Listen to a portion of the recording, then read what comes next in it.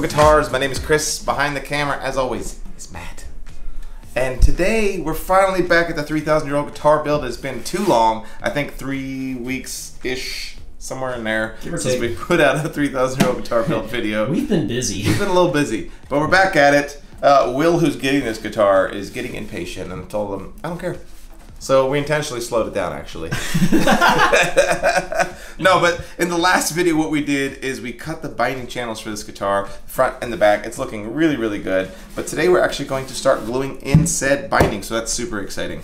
Um, what we're going to do is do maple binding on this guitar, which I think is a nice choice because it's going to give us a pop of color, kind of give it a nice border around the guitar, and we have this really nicely done um, flame maple that we did earlier. We bent them up in our bending jig, but we're not going to put that in this video because it's self-explanatory, right? What I like to do is do like anywhere between four to eight pieces of binding, and I bend them all up together. It just makes it a lot easier. We do them in this in the bending jig, like you guys saw us do with the sides. So we're not going to do the how to bend the binding. It's pretty self-explanatory. Whether you're doing it by hand or using a bending jig. Um, your mileage may vary. But this is what we have, is a bunch of bent up binding. And you can see, because we took our time cutting those binding channels, how well they fit super nice inside of here. Um, the goal is that we're not gonna need to do much cleanup work afterwards at all. They look really nice. And we have a nice channel inside of here already set up for our purfling to go in as well. So what we need to do is cut this binding to fit really nice and tightly on this guitar so that the joints on the top and the back fit really nicely and then we can just begin gluing it in. Um, so with that, what I'm going to do is just kind of get things ready to go here. And what I like to do is start off with finding the waist area of the guitar. I'm put the binding in. A lot of times what I'll do is I'll go like this and I just kind of push it until it kind of fits in perfectly. And that's where I kind of base everything off of. Mostly because that area can be the most difficult to kind of fit. So once that's there, I can put a little piece of tape on it and call it good. Now, my guitars are done slightly different than a lot of people's.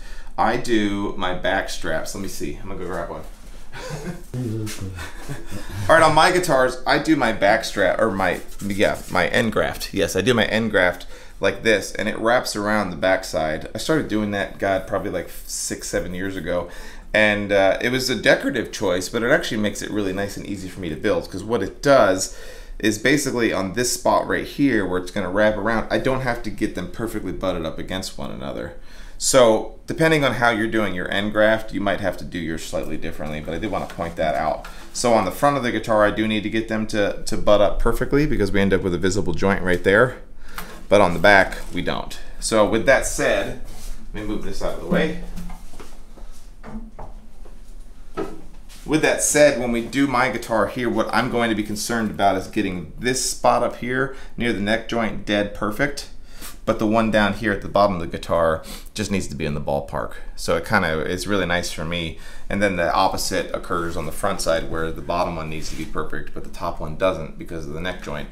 It just uh, a little, it was a kind of a happy accident for me. Kind of allows me to be able to have a little bit more um, flexibility with my my uh, my joints. So what we do is we tape that in right there in this spot, and I'm going to find the center line of this guitar back, which is right right there. Mark it, and then I'm, I'm gonna push on here nice and firm, making sure there's no slack in it. Bring it around, and right here is the center line. Sorry, I know I'm, I need to consider the fact that Matt is shooting video. Uh, I'm gonna put. Uh, it's, okay to be rusty, dude. It's been yeah, we're gonna put a mark there, but remember we don't need to cut it to that line. I'm actually gonna be able to cut it kind of with a little bit of a gap right there. Nothing, nothing too crazy. So what we'll do is we can now pull this off. I'm gonna grab some some snippies. And on this bottom one, because we don't really give a crap, I'm just gonna cut it. No big deal. We're gonna move it out of the way. Now this one, on the other hand, we need to get right. We need to get it really nicely done. So what I'm gonna do is I'm gonna cut it so that there's still some material there. And we're gonna go over to my edge sander and get this lined up perfectly. It's just something that I started doing years ago instead of trying to get this right with a chisel. Because one way to do it is to use a chisel and get this cut perfectly. But I found out that with my edge sander, it actually works a lot better and just doesn't have any issues with tear out. So what we're gonna do is run over there real fast. All right, so what I do with my edge sanders, I come over here, I use my miter gauge that I have on here set to 90 degrees, and without even turning the machine on, I can just come over here and do this to the pencil line.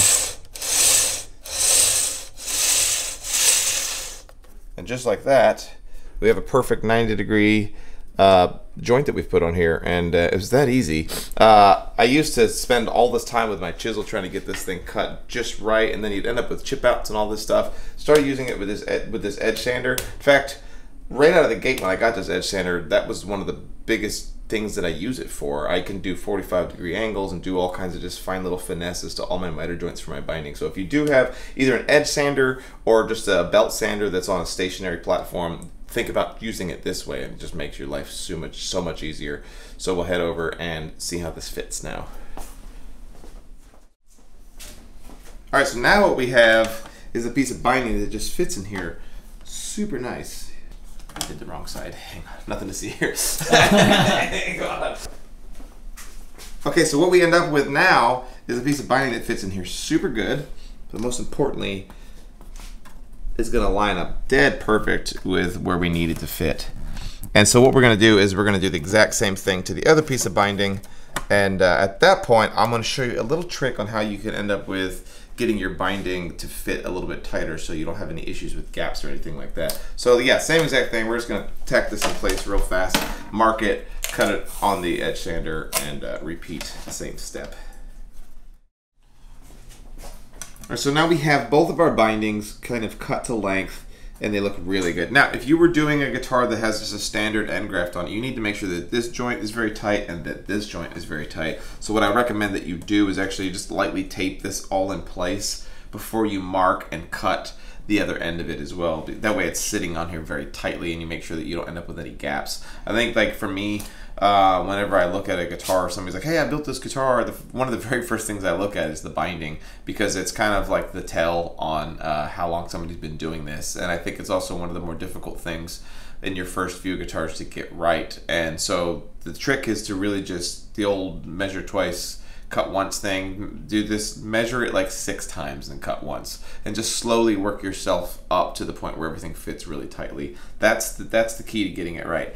The other thing that you want to do uh, is make sure that your binding, once you glue it in, is sitting very tightly to the body. That it's it's a very nice tight gap. And a thing that I do is actually I take just some sandpaper. This is a hundred grit and I just round off the inside here, just very slightly.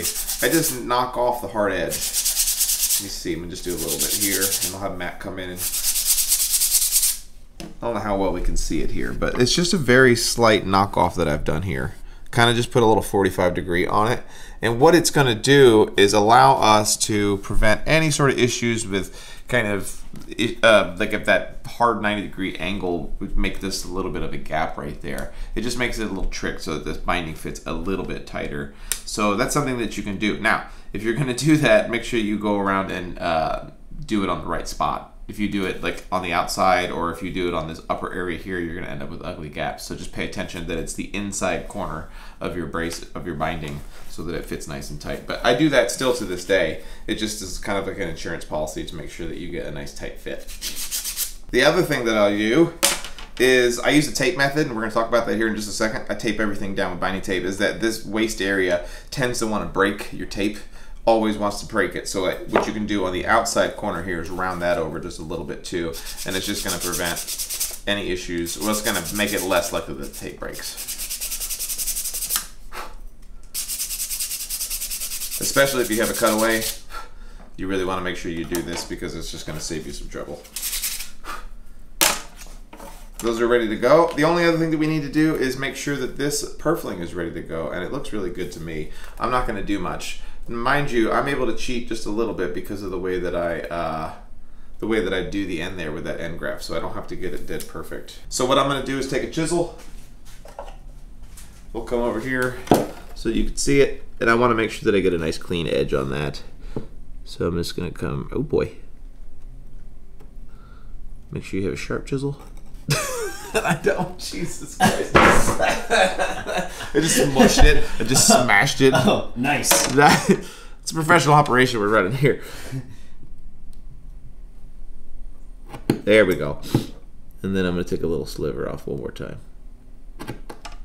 There we go. These are now going to be the pieces that butt up against each other and give me a nice clean look. So I just, I'll start off at the top here. All right, so what we need to do now, move this aside, is we need to glue everything in place. Uh, it's important that you kind of have a game plan in advance. I know that we've hit on that for every step of the guitar build, but I think it's something that uh, I'm going to keep driving home as we build these guitars because um, I always do everything in multiple steps. It's kind of like making the part, prepping the part for glue up and then the glue up. So we're at that point now where we're prepping for the glue up. And that's kind of like, okay, this piece of binding is over here on this side. This piece of binding is over here on this side. We're gonna do the same thing with the purfling. I've got my tape ready to go. I've got my glue ready to go. And I've like, I know where things are. You don't wanna get into the middle of doing this and all of a sudden you're like, running around your shop wondering where the heck glue is because it, it's it becomes an issue and I promise we've all done it. So let me see. I'm gonna go grab one. But what we're gonna do now is normally I would put this in the um, vacuum holder. It just makes it really easy for me to be able to put a lot of pressure on it, but I'm not gonna do that in this case so that you guys can see it a little bit better. Plus, most people don't have a vacuum clamp. Um, what I am going to use for gluing, oh man, I'm gonna have to change out my tape here in just a second, but what we're gonna use to glue on this binding is the LMI or StewMac Brown binding tape. It works really, really well. And then once we're done with that, we're gonna wrap the whole thing in this thick rubber band just to kind of give us a little bit of insurance policy. There's uh, there's there's so many different ways you can do this. Some people will use rope. Um, God, there's there's people will use clamps. Um, different types of tape, but for me, I've been using this brown this brown uh, binding tape for years, and it just works really well. Um, so let me go grab some fresh tape because we're going to run out here in a second. All right, I've reloaded this new tape on here and it gives me an opportunity to talk about this particular product. Uh, this tape dispenser that StewMac sells is so useful for this. I held off on buying these for years, but what I would used to have to do is I'd have the tape loosely in my hand and I'd break off all these pieces and I'd have them kind of set up on my workbench, just stuck to the side of the workbench so that I'd be ready to go. But now that I have this tape dispenser, it allows me to be able to just take off pieces as I need to and it makes it really quick. So if there's anything that you can buy that's going to help make this binding easier is one of these tape dispensers. I have I think three or four of them. They're awesome. I think we're ready to go. So what we're going to do is we got our tape ready, our binding ready. I'm going to start on the side that's closest to me. Uh, and what we to do is take our glue here and get it in that channel. We don't need to go nuts, man. Don't go crazy with your glue. I did that, and now I'm going to put just a small bead inside where the purfling channel is too. Easy. There we go. Remember, we are starting here with the easy side. The front of this guitar is going to be a lot more technical because we're dealing with binding, two pieces of purfling, as well as abalone. Um, and so this is a nice introduction to the binding technique. Okay, so where I'm going to start, not down here, because remember down here we're okay with a gap. We're going to start at the top of the guitar because we need that to be perfect. So wherever you're doing your binding, start with the point that needs to be correct. Like on a cutaway guitar, you're going to start at the tip of the cutaway because you have all those 45 degree pieces of binding that need to match perfectly. So that's what we're going to start is up here. We're going to line it up with my pencil mark. This might be difficult for Matt to get really good. It's just, it's, it is what it is. I've got those in place. I'm going to take a piece of tape right now, and I'm just going to kind of like use it as a as a placeholder. It's not really a clamp at this point. Just kind of, it's just kind of like a third hand. And then I'm just going to put a piece of tape right over here as well. Nothing crazy. And that seems good right now. So we're going to call that good. The rest of this is just going to hang off. Now I'm going to take my tape this is going to be an actual clamp. And I'm just applying equal pressure both down and this way at the same time and just getting everything in place. It's it's not super complicated. Um, it just takes a little bit of patience to come around the whole guitar and do the whole thing. You want to work with like a sense of urgency, but not like, oh my god. um, you know, you have about probably 15 minutes of working time with this um, this LMI glue or just white glue. If you're doing hide glue, good luck. like that, you do have a much tighter working time with hide glue. Um, paying attention that as you're doing, I like to leave little gaps. So sometimes I see people that just overlap the tape like this, but the issue with when you overlap tape like this is you're not going to be able to see if you have any issues. So by leaving small gaps between each piece of tape, it allows me to see if there's any gaps or anything like that. Um, just constantly checking to make sure that you're keeping that nice and tight. And uh, as we get to the waist area, the tape might break on me, which is kind of a common, kind of a common thing. That's why we did that sanding right there to round it over. Oh, see, look, it's, it's doing great. You can see how good this tape dispenser is working. It just allows me to be able to get in here and just quickly grab a piece of tape and move on. And then we're gonna come around.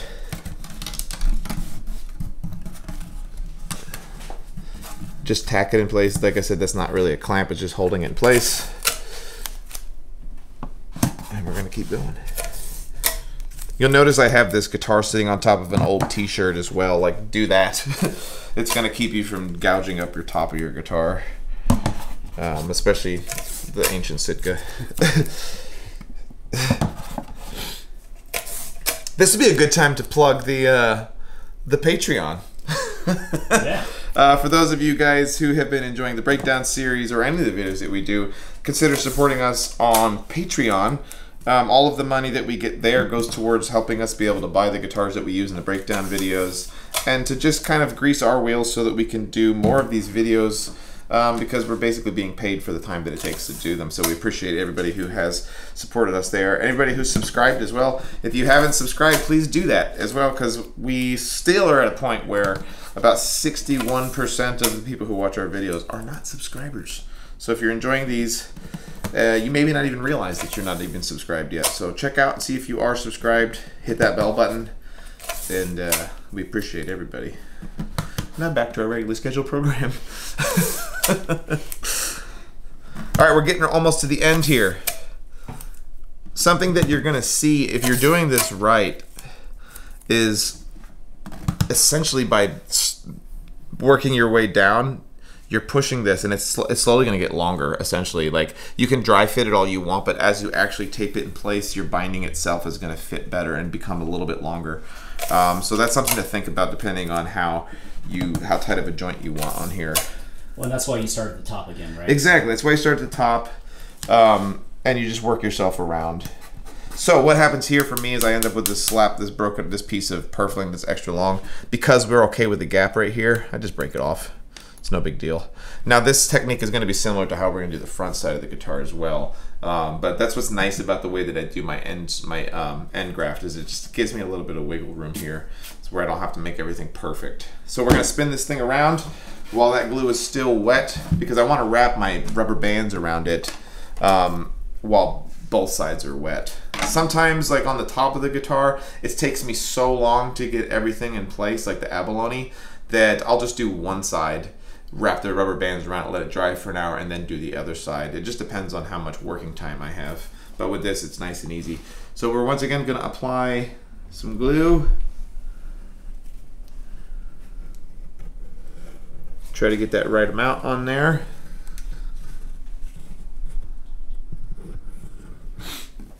We're to do a little bit in the purfling channel again.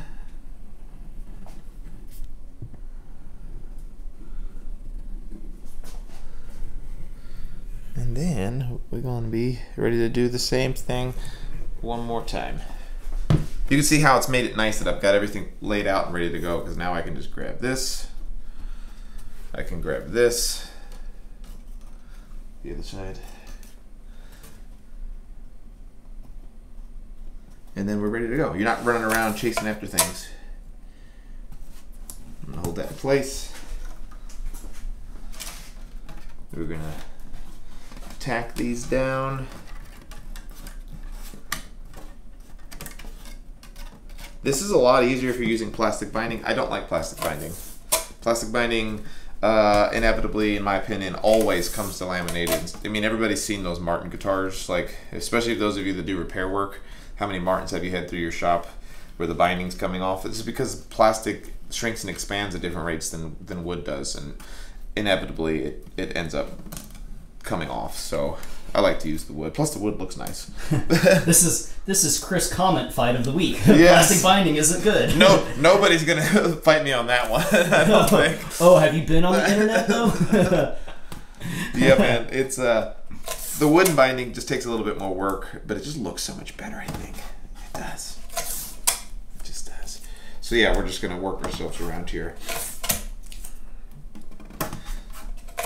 If you are finding yourself doing this and you're having some spots where there's a gap that you cannot get rid of, like man, no matter how much I'm putting so much pressure on it that it's breaking the tape, then don't kill yourself over it. Try to get it as close as possible because remember, we're going to be putting this rubber band on here in just a minute, and that's really going to give us an opportunity to kind of put some pressure on this stuff. Um, there's, it's not the end of the world. And then even after the fact that we let this dry, uh, start pulling the rubber band and the tape off, you're going to have another opportunity to fix any issues you might have. You want to get as close as possible, obviously, but there's a couple more chances to fix it. This looks good.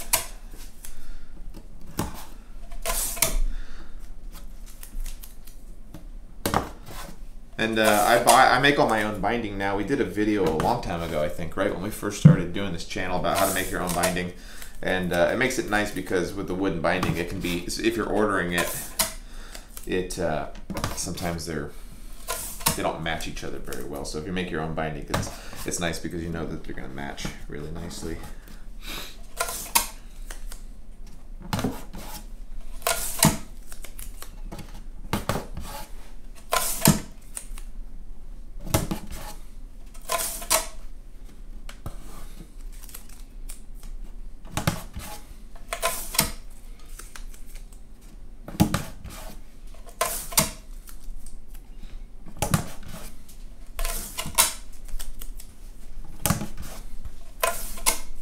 All right, one more.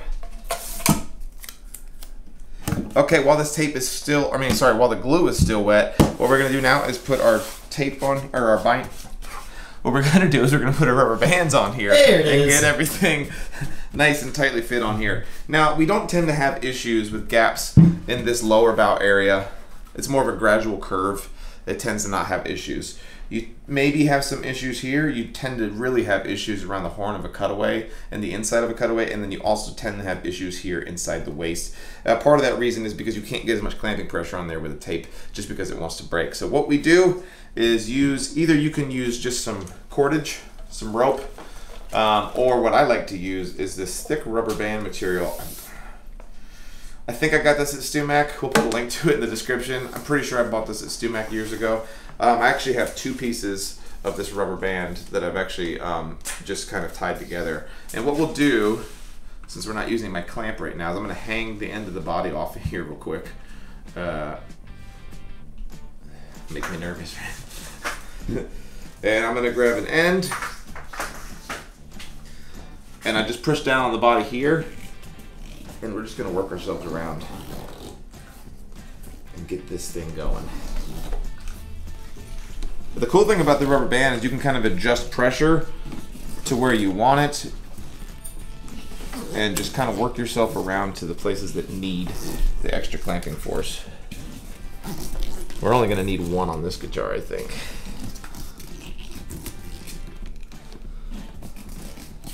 That's pretty much it, man.